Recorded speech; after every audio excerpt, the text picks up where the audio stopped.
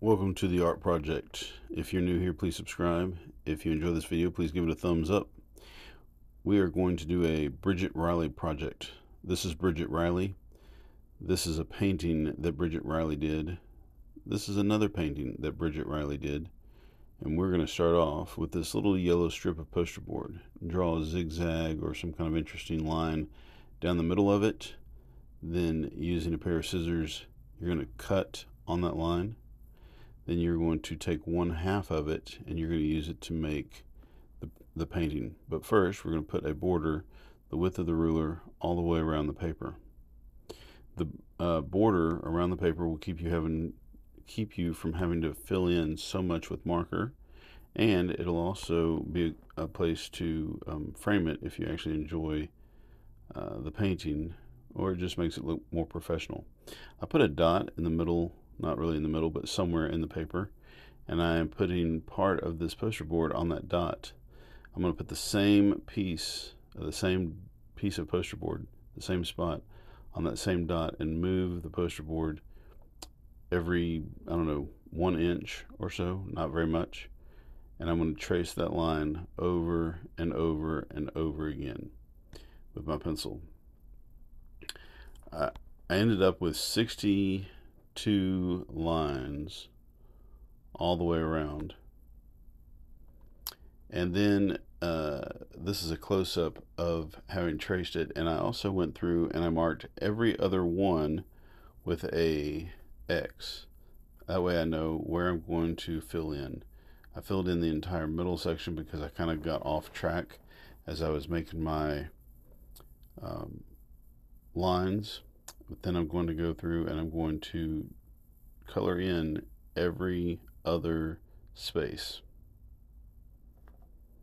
At first I used a ultra-fine point to outline it and then I used a fine point to start to fill it in and then when the space was a little bit larger I used a chisel tip marker. Here I am using the fine point just around the edges. And then here I am using the chisel tip to fill in the big areas.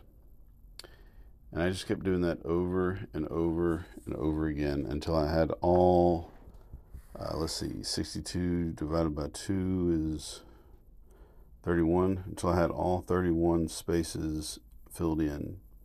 At some point, I realized that I could actually make a pretty solid line inside the, the lines that I needed to with the fine point and I stopped using the ultra fine.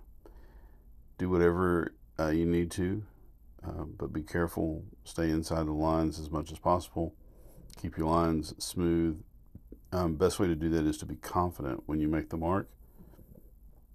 If you're confident, the line will be smooth, even if it goes out of line a little bit and you can always kind of come back and tweak it if um, if you are inside the line a little too much.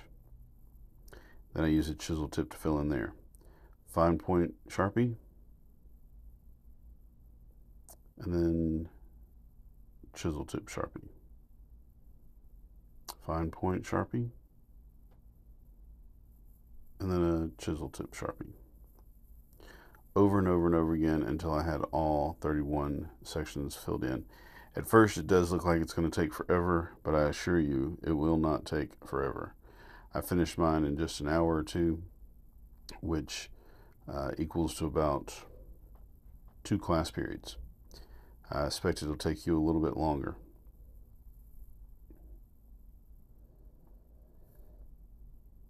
the wigglier you make the line, the more interesting I think your picture is going to be.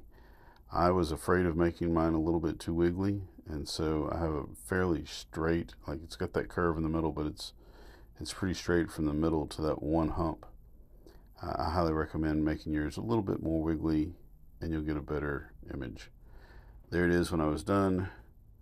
Hope you enjoyed making this vid uh, watching this video like I said, give me a thumbs up and take care. Be careful to uh, draw inside the lines the best you can and not get too messy.